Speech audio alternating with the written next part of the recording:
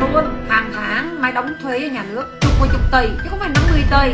Mai nó thật luôn á, thuế của mai là ngoài trung ương quản lý luôn á mai nói với cả nhà luôn là mai không nói láo đâu nói thật đấy bởi vì khi mai nói đến mạng xã hội á thì chắc chắn á những cái bàn mà làm bên ngân hàng á các bạn chỉ cần chép một cái là biết mai có nói dối hay không à. Sợ một cái coi từ bà mai có nợ ngân hàng không? Tao nói không bao giờ nợ ngân hàng thì nói thật luôn.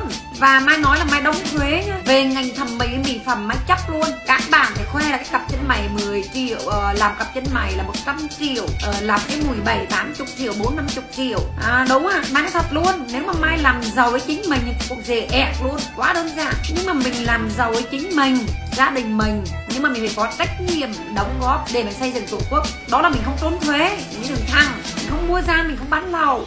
Một số các cái chuồng thẩm mỹ viện nó lấy cái mùi bảy, tám chục triệu. Làm giàu với chính mình, khoe làm gì? Tôi lấy giá đắt, khoe làm gì? Mình lấy giá mềm, mà mình làm đẹp. Mình đưa lại những lời lạc cho cộng đồng. Còn mình làm đẹp, mà mình lấy giá cao. Cái đó là mình đang làm để mình làm giàu với chính bản thân mình? Tại sao lúc nào cũng khoe là một ngày mình làm một tỷ hai tỷ ba tỷ bốn tỷ? Mà tại sao thuế lại đẹp? Còn khi mai phát ngôn trên truyền thông à, ở trên đó không phải là các các bạn mà trên đó chắc chắn sẽ có những người đại diện mặt pháp lý đó là những người làm thuế. Chỉ cần sợt mã số thuế của thương hiệu Marisa thì sẽ biết hệ thống đóng bao nhiêu.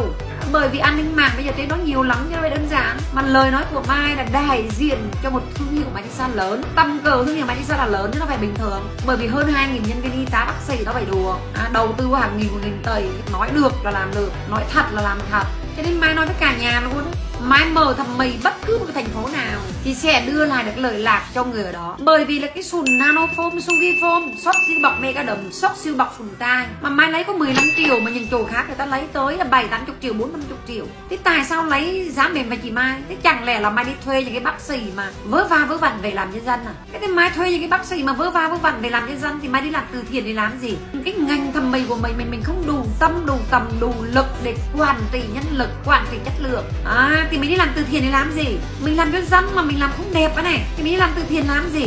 Đúng không? Cái tại sao mình lại mai làm bằng giá mềm? Bởi vì trong kinh doanh á một anh lời nhiều thì anh làm ít. Có nghĩa là một ngày anh làm năm ba cái mùi đấy ấm rồi. Nhưng mà mai đi một ngày mai phải đi phải làm ba bốn trăm cái mùi cả hệ thống. Thì mình lời ít nhưng mà mình được số lượng nhiều. À, để được người dân người ta thương được khách hàng người ta thương người ta giới thiệu khách cho mình.